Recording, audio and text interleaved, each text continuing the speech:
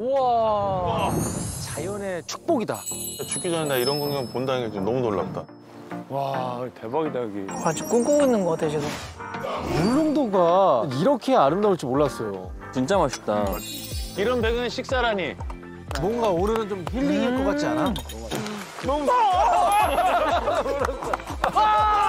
사부님은 울릉도를 천국이라고 표현하셨는데요. 오늘 이 천국에서의 비밀스러운 사생활을 공개해 주신다고 해요. 사모님 여기 지금 평수는 지금 어느 정도 되는 거예요? 한 13,000평이야. 거의 역대 제일 부자 사부님 아니에요? 여기서 살고 싶다 그러면 내가 여기 땅을 줄 테니까 여기다 지어. 야 땅을 준대. 자, 녹음하고 있어요. 나 땅, 땅 준다는 거 처음 들어봤어. 이거 뭐-